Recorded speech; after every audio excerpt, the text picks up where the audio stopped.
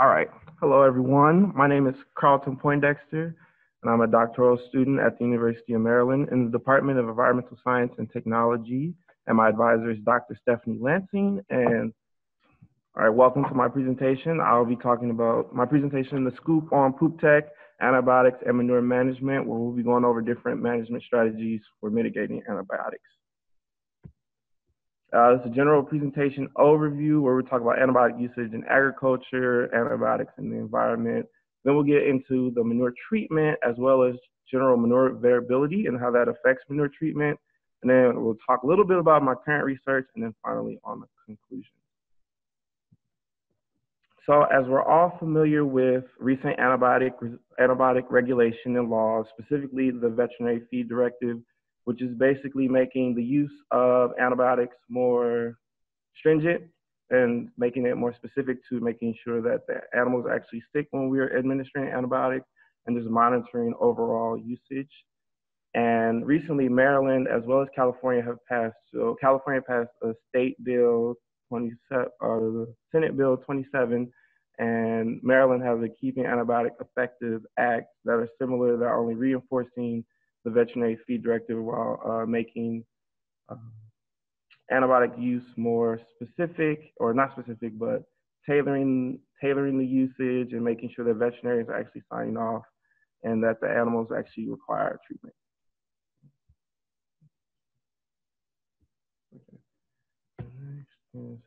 All right.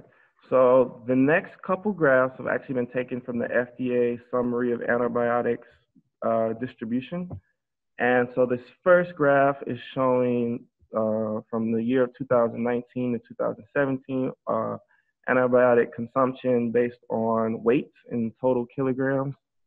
And so this, the graph is broken into medically important and non-medically important. Medically important uh, referencing antibiotics that are both used in animal, animal agriculture as well as for human consumption and human treatment of infections and disease. And there's been a, a particular focus on a lot of these, uh, particularly these four with macrolides, penicillin, sulfamides, and tetracycline. Specifically, they've been of high um, uh, relevance in a lot of the research, both clinically and within agricultural studies. Now, as you can see with all of these, all of the antibiotics, there's been a dramatic decrease from the year of 2016 to 2017 that is, for the most part, directly result, directly related to the veterinary feed directive. And for uh, tetracyclines, there looks to be about a 43% decrease from 2016 sales to 2017. Now, this next graph kind of reinforces the first one in that it breaks it, it breaks the antibiotic usage down into the types of animals and the animal industries that are using the most antibiotics. So cattle and swine and turkey are, are the top three, at least with the ones that they've recorded, with cattle being the highest. And then there's again a dramatic shift between 2016 and 2017.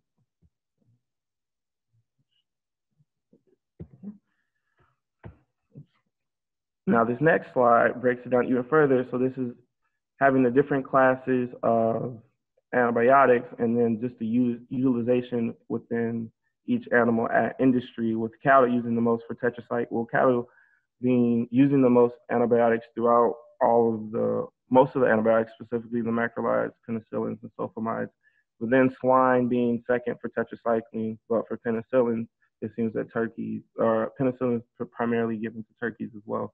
So it just gives a different uh, distribution and background of the different areas of animal agriculture that are using these antibiotics.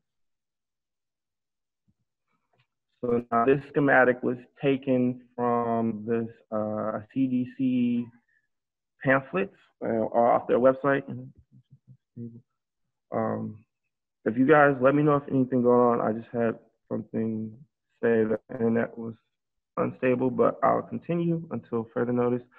So um, on the orange, this is kind of a big picture of how antibiotics are being produced and how they're enter entering the environment via human consumption or animal consumption or uses as on crops for fertilizers.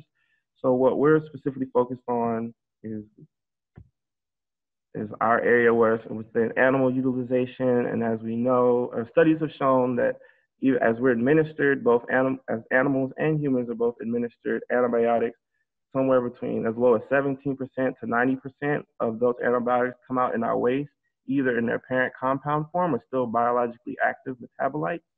So for animal agriculture specifically, when we uh, we usually treat manure and we want to treat manure and we end up putting it back onto croplands for as a fertilizer. So in that regard, you're kind of moving antibiotics around as it's coming out of the cows and cows and chickens and uh, pigs, and we're putting that back onto the field.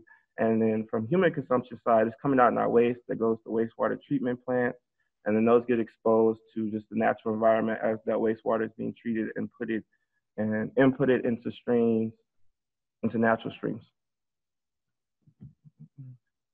So we've kind of been talking about antibiotics resistance and we talk about AMR. So what exactly is antibiotic resistance? So when we take antibiotics, when antibiotics are getting exposed to bacteria, it generates a selective pressure on the microbial community, which results in usually some type of inhibition or death of the bacteria. But some bacteria are uh, naturally resistant, and that resistant bacteria then starts to proliferate and fill that void that has been created after the bacteria after the antibiotics have killed off the other bacteria. And then bacteria also have that ability to transfer some of those drug resistance genes to other bacteria, and then that's how antibiotic resistance builds these various mechanisms mechanisms of gene transfer. All right, so now we're talking about manure treatment technology. So I want to say, well, let's put it out here. Most manure treatment is generally set for a specific need or treatment goal of the farm, usually in reduction of nutrients such as like nitrogen or phosphorus, odor reduction, volume reduction, or energy recovery in the case of anaerobic digestion, or just trying to add some type of value to the manure along with using it as a fertilizer. But it should be noted, and as a lot of us know, that these manure management practices and manure treatments aren't necessarily tailored towards producing antibiotics within the back within the manure, but some of them do pose to have benefits, which is what I'll go into today.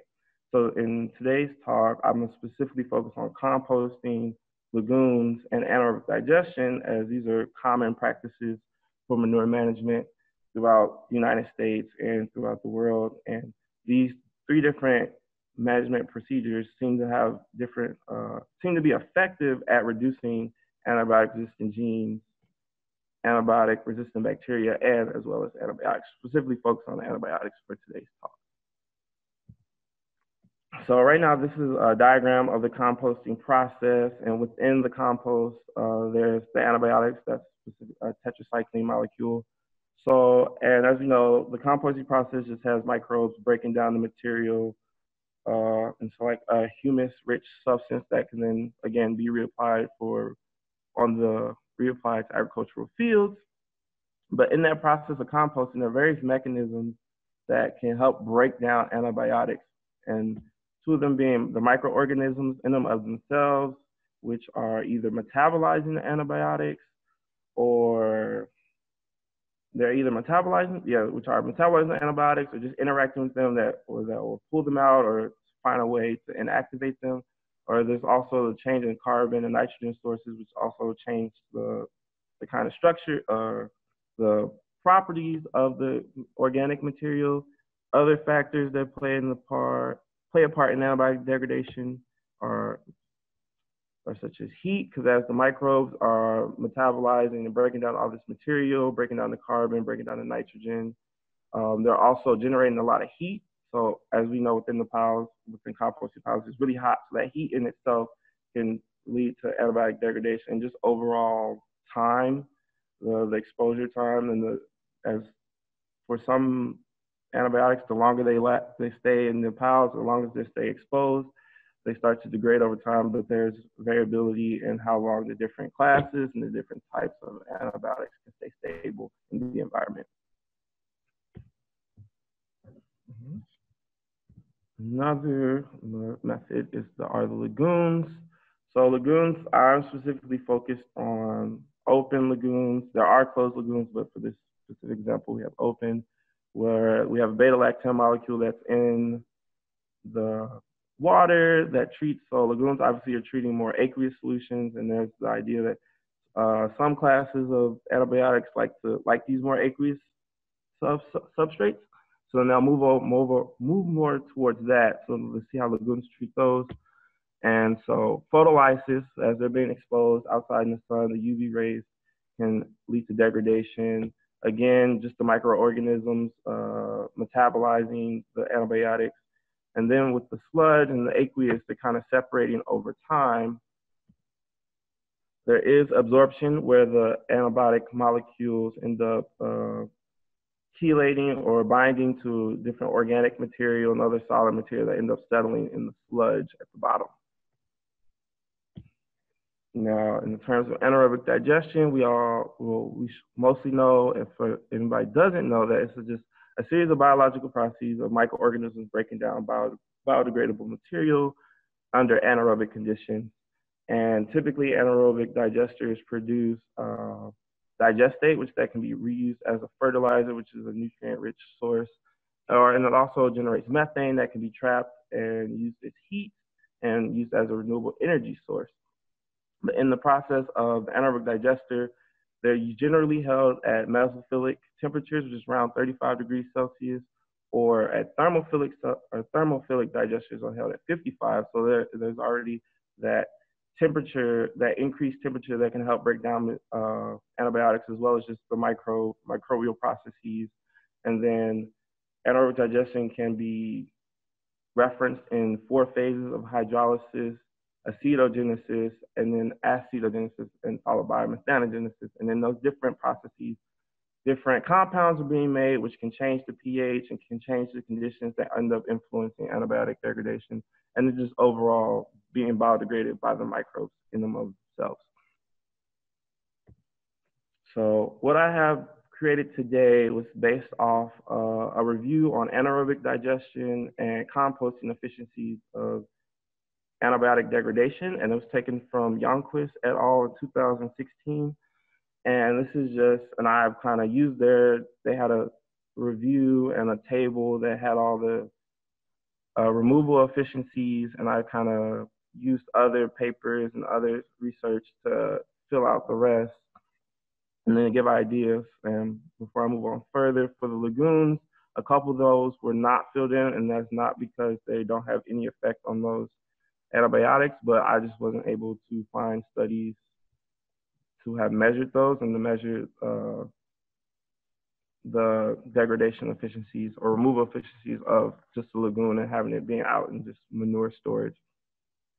But you can see for a lot of them, there's a wide range of efficiency from anywhere between 30 to 80% and 40 to 90%, or even for the quinolones for anaerobic digestion, 9 to 74%. So there's a lot of variability in how the antibiotics are being degraded and how effective these manure management practices are at actually degrading antibiotics, which leads us to manure variability. So that wide range or that wide scope of uh, removal efficiencies are due to the manure type. So the cattle manure versus swine manure, they have different properties. There's moisture content. There's uh, there's obviously the general pH, and there's different variables that play in the factor as well as their diet. They also have so many variabilities in how the manure will come out, as well as the concentration of antibiotics actually coming out.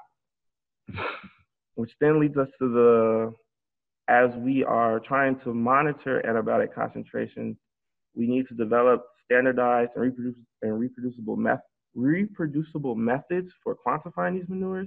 Currently, that's one of our limitations is this analysis because our analysis can only go so far in terms of how low they can detect concentrations. And because typically antibiotics are analyzed with uh, liquid chromatography in tandem with mass spec.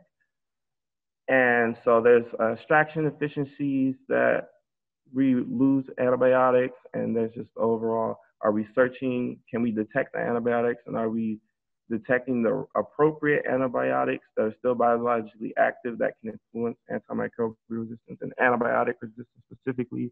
So those are kind of limitations that we're currently having in dealing with manure, uh, in dealing with trying to quantify antibiotics and seeing if these treatments are actually effective. Antibiotics and manure. So again, we're not sure exactly how much of the antibiotic residues are in manure when they're applied to agricultural land, either being unprocessed or with processing.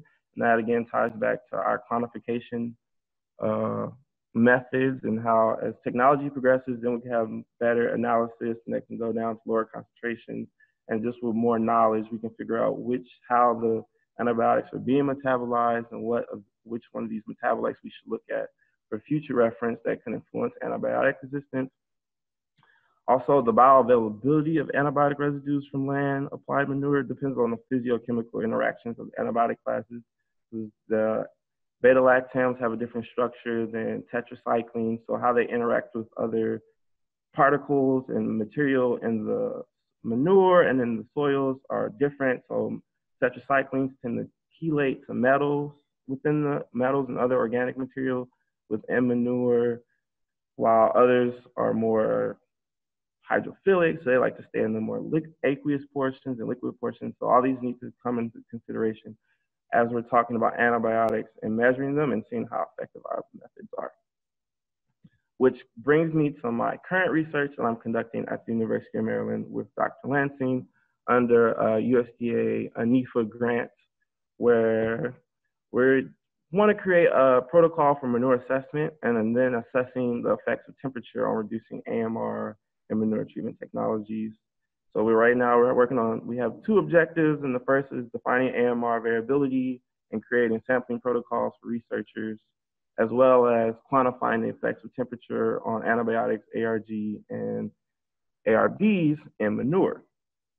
So with this first uh, objective of variability and being able to quantify. I've been working with the US at the USDA Beltsville Agricultural Research Center, where we've been developing a LCMS method for detecting a broad spectrum of antibiotics, whereas typically most most researchers and most studies have focused either on one class or one or two classes. We have around we have a class within four classes. We have beta lactams, we have sulfamides, macrolides, and tetracyclines and we've actually gotten good recovery for beta lactams because they're they're a funny group to work with because they uh, hydrolyze so quickly. So as we can remember, if you look back onto my graph of the removal efficiencies, beta lactams had 100% removal because they hydrolyze very quickly in the environment. But that doesn't mean that they're not having any type of selective pressure. And where I am currently, or what we're working on now, is assessing the effects of temperature-based manure treatment technology to reduce antibiotic resistance, where we're doing a comparative studies between with a rotary drum, a thermophilic digestion, and thermal hydrolysis pre-treatment, and seeing how these different technologies and these different treatments will ultimately reduce antibiotics, ARGs, and ARBs. So in conclusion, the big takeaways I would like for people to take from, hopefully from my presentation is that traditional manure technologies are not designed for antibiotic removal, although they do, they are showing promise in various forms of the different ways that they can remove antibiotics. There are currently limitations to antibiotic detection methods, and that can, and as technology progresses and as we learn more and we know what uh, which antibiotics to look for, which metabolites to look for, that'll all help in better tailoring our methods and making our methods more robust. And then at the end of the day, as we're removing antibiotics, there is, it's at these low concentrations, these sub-inhibitory concentrations, that antibiotic residuals are the likely drivers of antibiotic resistance as when they're at high concentrations, they can wipe out, they can be very detrimental to a bacterial population, but when they're at these lower levels, that's when the bacteria can start to become resistant because it's not that high, and those resistant bacteria can potentially start to transfer some of those genes.